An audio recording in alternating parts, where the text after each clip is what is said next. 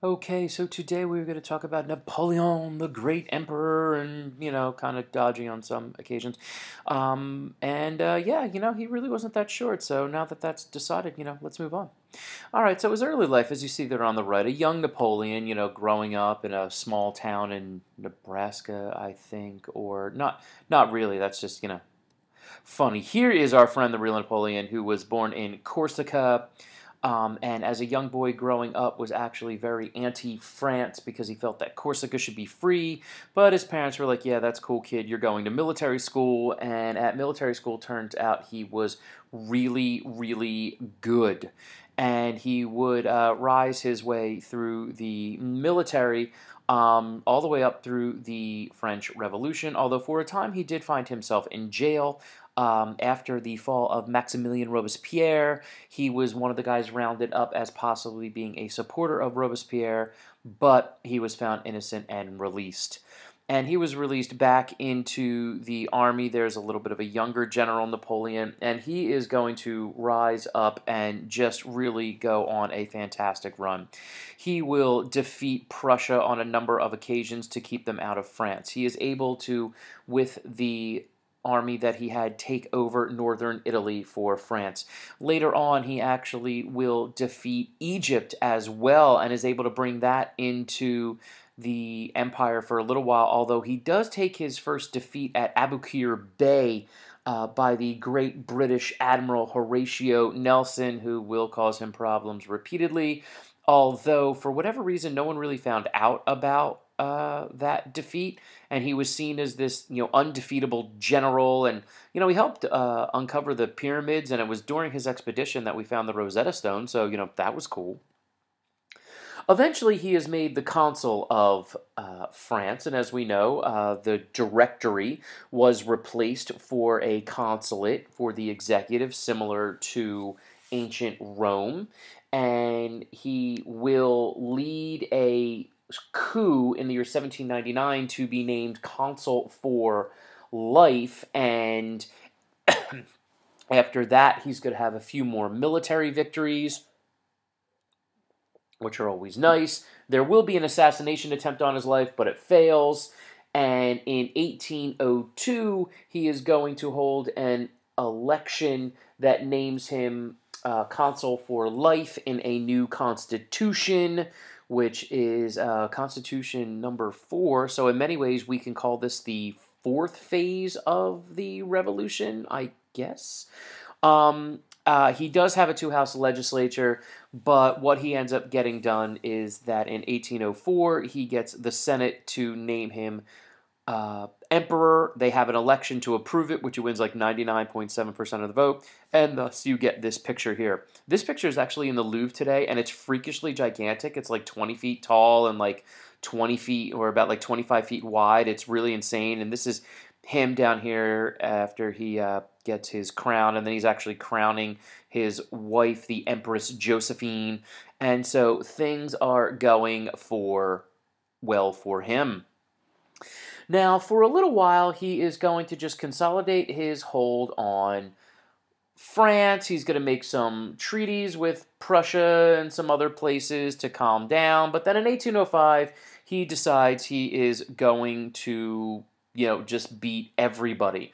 Um, and at the battles of Ulm, Jena, Eylau, and the most impressive was the Battle of Austerlitz, he basically just whacks Prussia, Russia, Austria, just everything. Everything is gone. He conquers most of Europe and then he makes Russia a subject state. And the fact of the matter is, his army is better for a variety of reasons. One, he is the best general in the world. His army is faster, he has better tactics, he can almost anticipate when uh, battles are going to go a certain way, so he was fairly awesome. And then to go along with that, his army was huge. I mean, having hundreds of thousands of men, top notch equipment. I mean, this guy just had everything. And when it was all said and done, this is the empire that we are going to see him have. Now, as you can see, the area that he directly controls, and if you look at the notes, uh, you had his inner core, which was uh, the Empire of France, most of what is modern day Germany, Holland, the Netherlands, and northern Italy. Okay, the light green areas Spain, Italy, the Confederation of the Rhine, and parts of Poland. Those areas are subject states that uh, sometimes his relatives, more often than not his brothers, were actually in charge of. Um, and they would have their, you know, obeisance to him. And then you have Austria and Prussia were forced to sign agreements that they would obey him as allies. Um, he did have a treaty with Russia, although they really didn't like him. And then Britain, Britain is just going to be a nightmare. And you know his quote about Europe, that being Napoleon, is Europe cannot be at rest except under a single head who will have his kings for officers, who will distribute his kingdom to his lieutenants. So he was running the show. Now, what's very interesting is that despite the fact that he was an emperor, and by no means understand that he is an emperor, um, he did a lot of important societal changes in France. Um, one of the big things was equal opportunity for all people. Uh, he takes away special privileges for nobles and the clergy and kind of puts everyone at the same level. Remember, he's a military guy, so he wants to advance people based on merits. Um, he's going to be really big about religious toleration, which we know France has had a variety of issues with. Um, government positions will only go to the most qualified, and probably his biggest influence was the creation of the Code Napoleon or the Napoleonic Code. This was a civil law that applied all laws equally to all people, regardless of their background or class. It included a criminal code um, that really got rid of the biased laws that existed before it and made sure that all laws um, were and punishments were applicable to the crimes that were broken.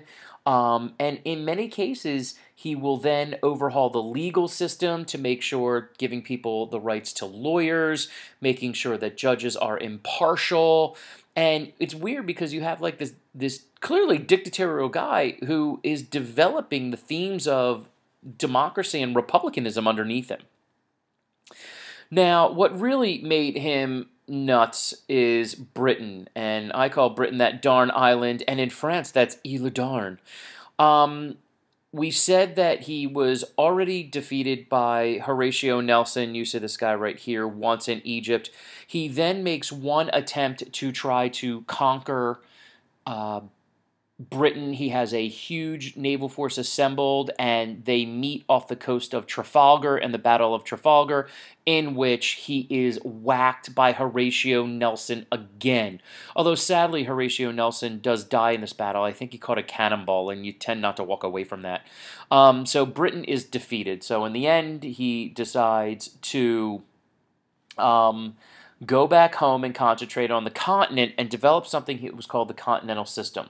The idea that he thought he could do was to destroy the British economy. So he made it illegal for anyone in Europe to trade with Britain and really tried to encourage places like the Americas to also not trade with Britain. The problem is is that Britain has the best navy in the world and Latin America and Asia are completely still open. Remember the British also kind of invented you know, being a pirate, and so they knew all sorts of ways where they could sneak on to the coast and still sell products because, frankly, the, the British Navy just wasn't any good. And so, despite, despite their ideal and Napoleon's job to try to take out one of his enemies, uh, in the end, it just wasn't working.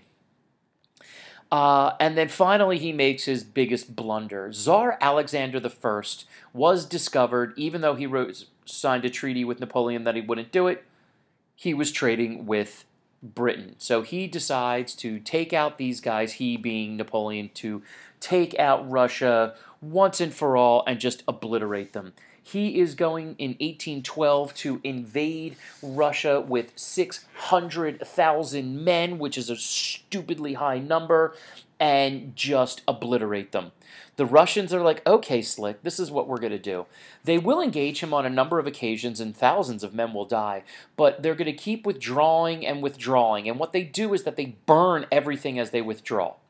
So Napoleon has to expand his supply lines all the way back from France. And you guys are familiar with the map of Europe, knowing that Russia and France are not close to each other.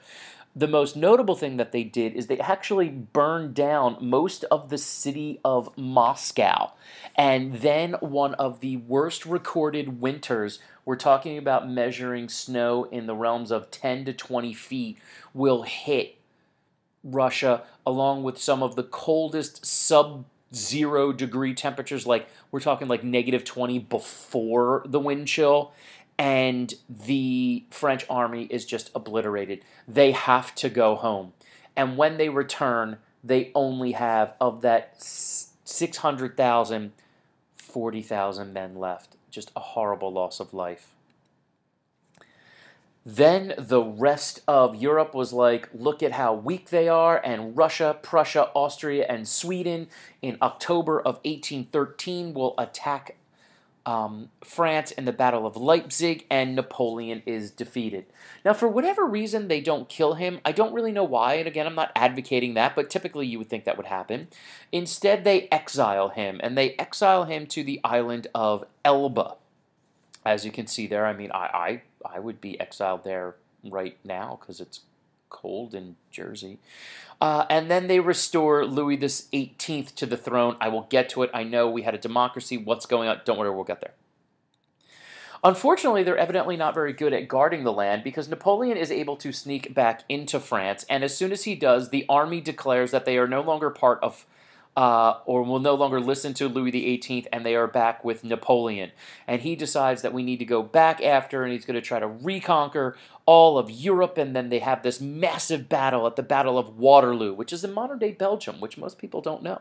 On the right here, you see actually a part of the battlefield and the monument for uh, the Battle of Waterloo today. Uh, Napoleon will be faced by his main enemy again, the British, who will be led by Arthur Wellesley, the first Duke of Wellington. He is typically referred to as the Duke of Wellington. And no, it's not Arthur Weasley, of course, the patriarch of the Weasley family in Harry Potter. No, it is Arthur Wellesley, but he's just the Duke of Wellington. Also, fun fact, would later on be a prime minister of of England. What's really interesting, and I don't really have a map up here, but basically what happens is Napoleon had two main armies, okay? His army was going to engage the British, while his other army was going to engage a Prussian force led by General Blucher on its way to battle them. Well, what ends up happening, I know it sounds crazy, but his second army actually gets lost and they don't engage the Prussians. You know, remember, it's the 1800s. We don't have you know satellite feeds and and and stuff like that. And because they didn't get it, as Napoleon is engaged with the British, the Prussians come to his flank and he is crushed. And this time, they make sure to get rid of him. He will be exiled now to the island of St. Helena, and you see here, this was actually the house that he lived in, where he will die not too uh, long in the future of either stomach or pancreatic cancer. Pick one. Now, his impact was actually quite huge. What Napoleon actually did is he helped create modern day Europe. And the reason why he did that is that because he conquered so many people, those people realized the importance of having a strong central belief in them and their country, and he helped form national identities. You know, the Germans will form after this, the Italians will form after this. The Holy Roman Empire finally has just kind of been pieced out for a while, but you get like Austria and Denmark and different types of places like that. So he helps do that. He also fosters the concept of cooperation because after this, the Europeans realize that they cannot allow something like this to happen again, and you'll actually see less wars. There'll be some wars, don't get me wrong, and most of them done by the Germans, but for the most part, Europe becomes a little bit more peaceful, and they tend to go the route of, hey, what if we negotiate and try to avoid conflict? that might be a good thing.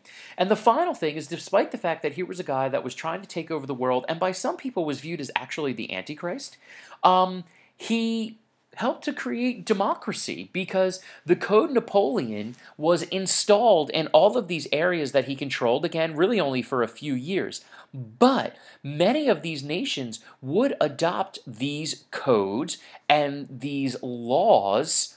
Um, and you're starting to see the breakdown a little bit of that societal of like the nobles and the non nobles, and you're starting to get less of a stratification.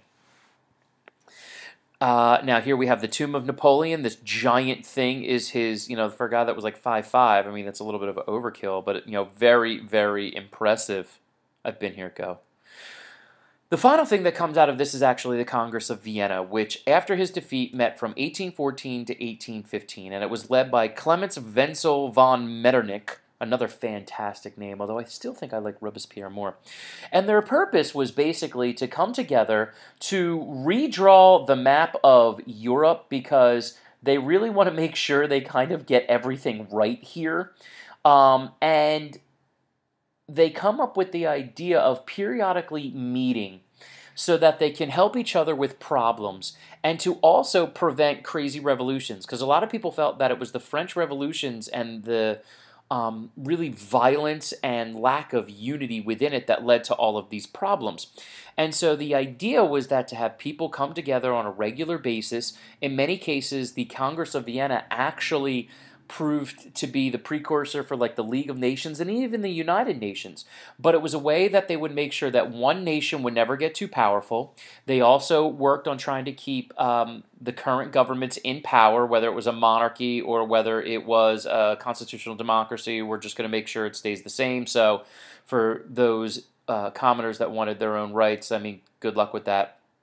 But in general, it was very, very successful. And all of these things really come from Napoleon. So as you can see, he was a tremendously inf influential individual, and we'll talk about him a lot more in class tomorrow. So make sure you get your questions and comments, and I'll see you then.